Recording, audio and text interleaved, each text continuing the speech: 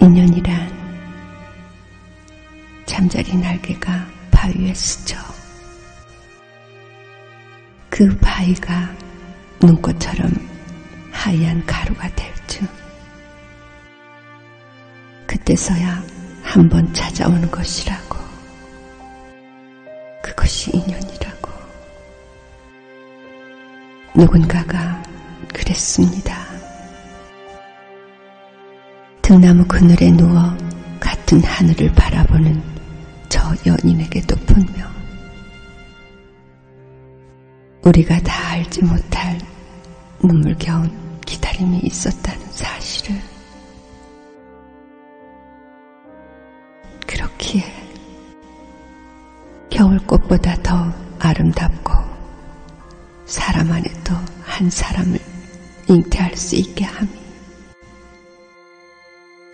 것이 사람의 인연이라고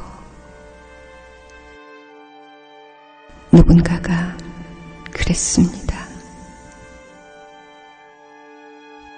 나무와 구름 사이, 바다와 섬 사이,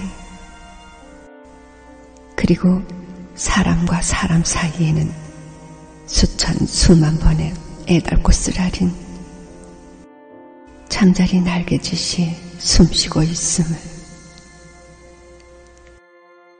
누군가가 그랬습니다. 인연은 서리처럼 겨울 담장을 조용히 넘어오기에 한 겨울에도 마음의 문을 활짝 열어놓아야 한다고 먹구름처럼 흔들리더니 대뜸 내 손목을 잡으며 함께 겨울나무가 되어줄 수 있느냐고 눈 내리는 어느 겨울밤에 눈 위에 무릎을 적시며 천년에나 한 번 마주칠 인연인 것처럼 잠자리 날개처럼 푸르르 떨며 그 누군가가 내게 그랬습니다.